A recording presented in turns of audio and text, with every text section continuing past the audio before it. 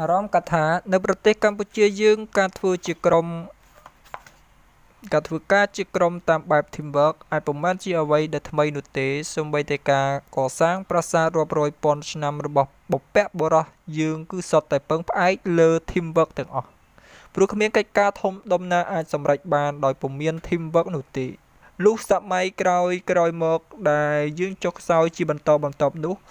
ការគ្មានភាពរឹងមាំអំពី teamwork គឺជាកត្តាមួយ នៅក្នុងនោះដែរ teamwork គឺជាកត្តាដ៏សំខាន់សម្រាប់អនុវត្តកិច្ចការទាំងធំទាំងតូច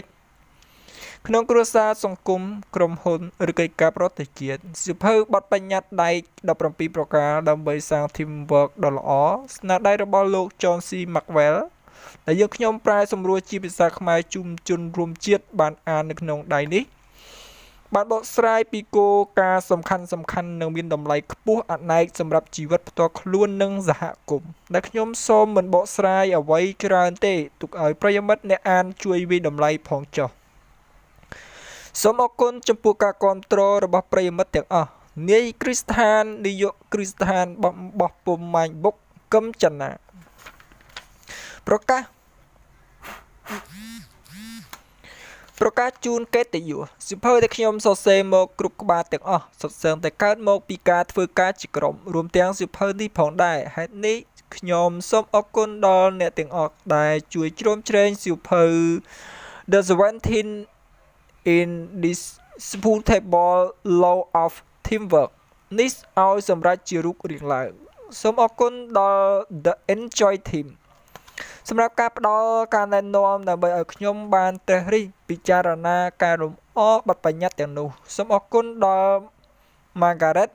Maxwell ភរិយារបស់ខ្ញុំ ជាមិត្តដ៏ល្អបំផុតនិងជាមិត្តរួមក្រុមលំដាប់លេខ1សម្រាប់ពាក្យណែនាំដ៏ល្អរបស់នាងសូមអរគុណ Linda Ikas ដែលចាំជួយពិនិត្យយ៉ាងល្អិតល្អន់លើកិច្ចការផ្សេងផ្សេងក្នុងជីវិតរបស់ខ្ញុំសូមអរគុណ Ketiwit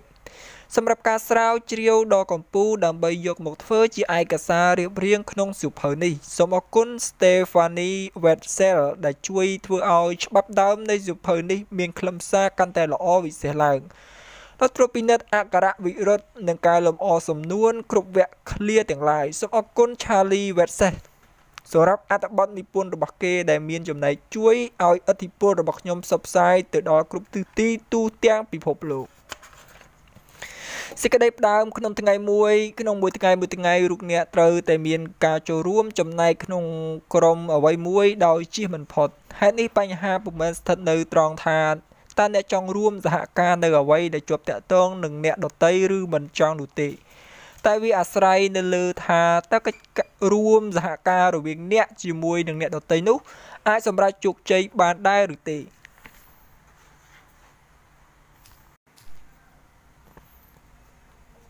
តើកិច្ចរួមសហការរវាងអ្នកជាមួយអ្នកដទៃនោះអាចសម្រេចជោគជ័យបានដែរឬទេនោះឯងចម្លើយគឺមាននៅក្នុងសៀវភៅមួយក្បាលនេះហើយអ្នកណាក៏ដឹងថា teamwork ជាការប្រសើរហើយក៏ជារឿងចាំបាច់ផងដែរប៉ុន្តែសួរថាតើធ្វើដូចម្ដេចទើបទទួលបានផលល្អតើអ្វីខ្លះដែលធ្វើឲ្យក្រុមប្រតិបត្តិការទទួលជ័យជំនះ ហើយថាហេតុអ្វីក៏ក្រុមខ្លះឈានឡើងទៅដល់កម្រិតខ្ពស់បំផុតហើយធ្វើឲ្យទស្សនវិស័យរបស់ខ្លួនคล้ายជាការពិតចំណែកក្រុមដទៃទៀតបែរជាមិនអាចធ្លុះធ្លាយទៅដល់ណានោះពុំបានជារឿងងាយទេព្រោះប្រសិនបើធ្វើបានដោយងាយម្លោះសំវិស័យកីឡាច្បាស់ជាមានជើងឯកពិភពលោកមុខដដែលដដែលច្រើនជាងសពថ្ងៃឬបញ្ជារាយឈ្មោះក្រុមហ៊ុនដែលជាប់លំដាប់ Fortune 500ប្រហែលមិនមានការផ្លាស់ប្ដូររៀងរាល់ឆ្នាំនោះទេរឿងដូចចម្លែកអស្ចារ្យម្យ៉ាងនៃការស្វែងយល់អំពី teamwork គឺសូម្បីតែអ្នកដែលអាចដឹកនាំក្រុមប្រតិបត្តិការឲ្យឡើងដល់កម្រិតកម្ពស់ហើយក៏នៅតែមានការពិបាកក្នុងនឹងចង្អុលបង្ហាញឲ្យជាក់លាក់ថាតើមានកត្តាអ្វីខ្លះទៅដែលអាចបែងចែករវាងក្រុមប្រតិបត្តិការដ៏ខ្លាំងពូកែជាមួយនឹងការគ្រាន់តែប្រមូលផ្ដុំ រវាងបុគ្គលដែលមើលទំនងជាមិនអាចចូលជាមួយគ្នាបាននោះ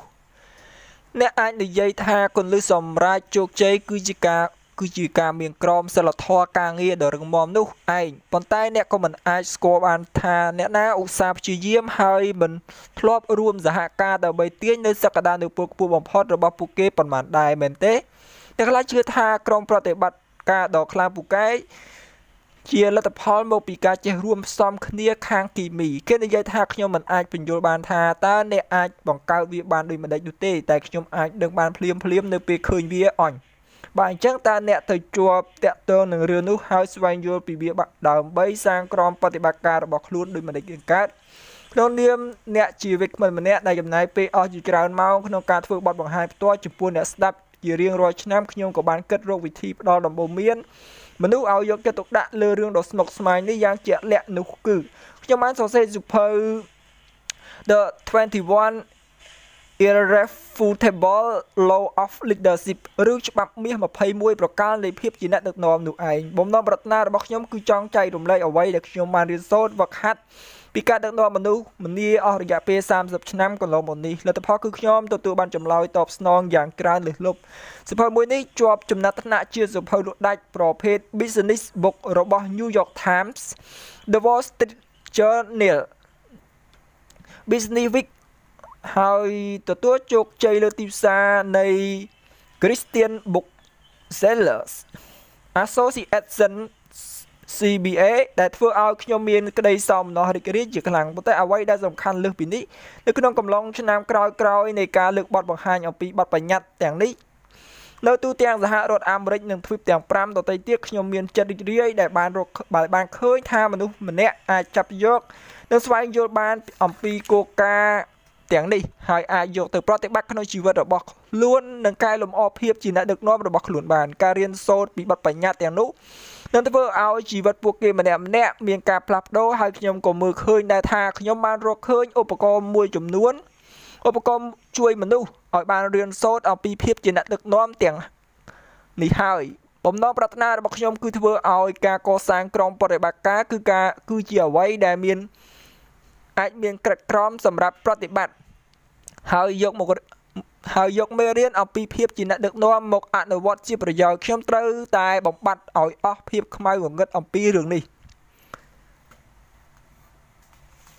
ដូច្នេះហើយទើបខ្ញុំត្រូវប្រឹងប្រែងរកឲ្យឃើញនៅបទបញ្ញត្តិ Teamwork ថាតើវាមានប្រការអ្វីខ្លះរឿងដ៏អស្ចារ្យអំពីបទបញ្ញត្តិទាំងនេះគឺ អ្នកអាចពឹងពាក់ប្រើប្រាស់វាបានទោះបីអ្នកជានរណា មានមូលដ្ឋានគ្រឹះមុខបែបណាឬត្រូវប្រឈមមុខនឹងស្ថានភាពបែបណាក៏អ្នកនៅតែអាចយកបទបញ្ញត្តិនេះទៅប្រើបានជានិច្ចក្នុងកំឡុងពេលខ្ញុំធ្វើបទបង្ហាញពីបទបញ្ញត្តិទាំងនេះដល់អ្នកអ្នកនឹងបានឃើញថាខ្ញុំតែនិយាយរឿង teamwork ចេញពីជ្រុងអ្នកដឹកនាំជាញឹកញាប់នេះគឺជាការពិតដែលថាអ្នកដឹកនាំគឺអ្នកដែលអូសទាញក្រុមប្រតិបត្តិការឲ្យរួម ចូលធ្លុងតែមួយហើយនាំពួកគេធ្វើដំណើរទៅរកជ័យជំនះនោះឯងប៉ុន្តែមិនមែនជារឿងចាំបាច់ដែលអ្នកត្រូវតែជាមេដឹកនាំទើបអាចទាញយកប្រយោជន៍ពីសុភៅនេះនោះទេព្រោះទោះជាអ្នកទៅធ្វើអ្វីក៏ដោយគឺត្រូវតែប្រើ teamwork នេះជានិច្ចមិនសំខាន់ទេដែលអ្នកថា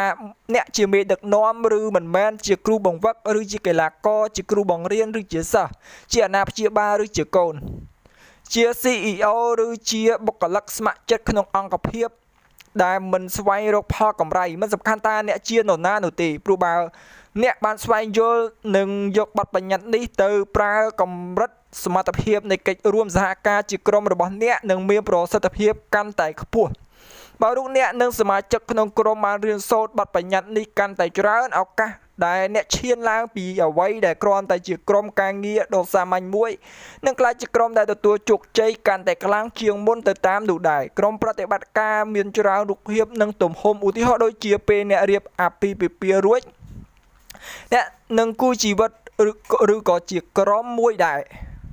ប្រសិនបើអ្នកជាសមាជិកក្នុងអង្គភាពណាមួយអ្នកនិងមិត្តរួមការងាររបស់អ្នកក៏ជាក្រុមមួយដែរបើអ្នកជាសមាជិកស្ម័គ្រចិត្តបម្រើស្ថាប័នមិនយកផលកម្រៃអ្នកនិងមិត្តរួមឧត្តមការក៏ជាក្រុមមួយដែរប្រៀបដូចជា Dan Divine និយាយបែបកំ pl ៃថាក្រុមគឺក្រុមនឹងឯង Shakespeare និយាយច្រើនដងមកហើយសូម្បីតែកវីឯកដ៏មានទេពកោសល្យអាចមិននិយាយដោយត្រង់ត្រង់តែគោលគំនិតតាក់ទងនឹងរឿងនេះគឺជារឿងពិតដែលជាហេតុផលថាហេតុអ្វីទើបបានជា teamwork គឺជារឿងសំខាន់ហើយនៅក្នុងការលើកបទបង្ហាញ Neil ពេលថ្មីថ្មីនេះមានអ្នកដឹកនាំវ័យក្មេងម្នាក់ដែលទើបតែចាប់ដើមប្រកបអាជីពបានដើមមករកខ្ញុំហើយសួរថាចនអ្វីដែលខ្ញុំត្រូវរៀនអំពី teamwork តែម្យ៉ាងគត់គឺអ្វីទៅ ម្យ៉ាងគត់ដូច្នេះឬខ្ញុំសួរទៅវិញប្រហែលគ្មានចម្លើយងាយស្រួលដល់ម្លឹងទេប៉ុន្តែគេនៅតែជជិកសួរហើយឲ្យខ្ញុំបានរៀបរៀងហើយឲ្យខ្ញុំបានរៀនផងខ្ញុំចង់បានប្រកាសសំខាន់តែម្យ៉ាងគត់ប៉ុណ្ណោះមិនអីទេបើអ្នកចង់បានបែបហ្នឹងខ្ញុំឆ្លើយប្រកាសម្យ៉ាងគត់ដែលអ្នកត្រូវរៀនអំពី teamwork គឺនៅមានប្រការចាំបាច់ជាច្រើនទៀតដែលអ្នកត្រូវស្វែងយល់អំពី teamwork នេះពីដំបូងគេសម្លឹងមើលមកខ្ញុំដោយទឹកមុខងឿងឆ្ងល់បន្ទាប់មកគេក៏សម្ដែងអាកប្បកិរិយាមួមងតែខ្ញុំអាចដៅស្មានតាមក្រសែភ្នែកដែលកាត់យល់របស់គេបានអូខ្ញុំយល់ហើយវាជាដំណើរការមួយ okay okayខ្ញុំសូមខ្ញុំសុខចិត្ត ស្វែងយល់ឲ្យដល់ទីជម្រៅខ្ញុំសុខចិត្តចំណាយពេលសិក្សាពីវាចោះខ្ញុំសូមឲ្យលោកអ្នកអនុវត្តដូចគេនេះដែរគឺ